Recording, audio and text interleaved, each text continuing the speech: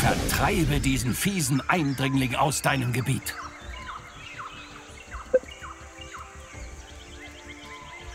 Oh, dafür musst du natürlich wissen, wie du deine Kreaturen befehligst. Durch einen Bildschirm hindurch ist das nicht so einfach.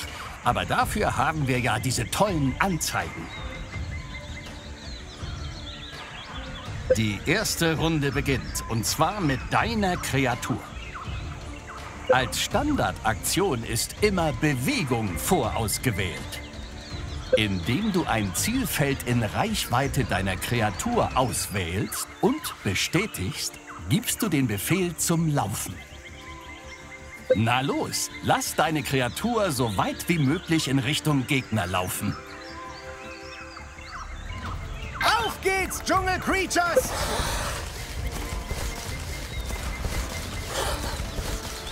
Leider ist der Feigling noch immer nicht in Reichweite deiner Waffe.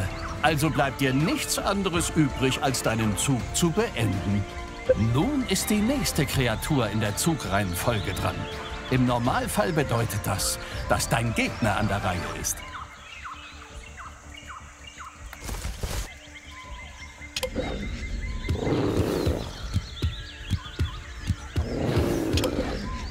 Die zweite Runde beginnt in der Reihenfolge wieder von vorn, also mit deiner Kreatur.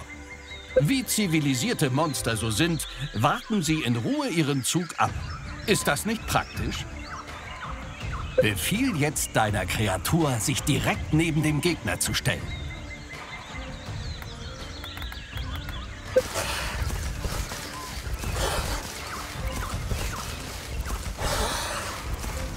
Jetzt befiehl deiner Kreatur, dem Gegner ordentlich eins überzuziehen.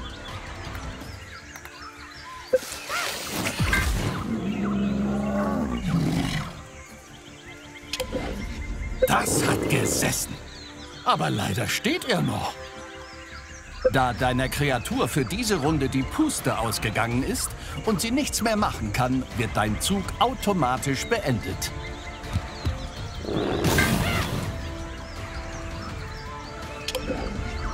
Autsch! Zeit, sich dafür zu revanchieren und dem Angriff auf dein Gebiet ein Ende zu bereiten. Gib deinem Gegner den Rest.